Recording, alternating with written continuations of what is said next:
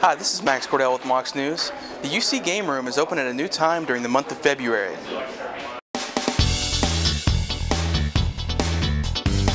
The Game Room will be open noon to 4 p.m. every Saturday in February for UTC students to have some fun.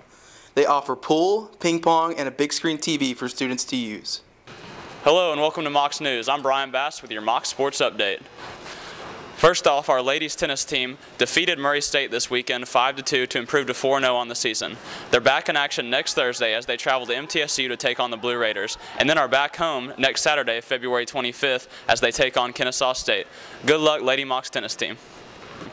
Our wrestling team was out in Stillwater, Oklahoma, where they took on number 10 Wyoming and Boise State, dropping two close but very competitive matches.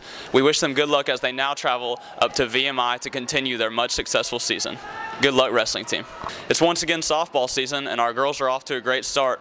They were down in Clermont, Florida, where they defeated Florida Atlantic to conclude their tournament and ended that tournament 3 and 2.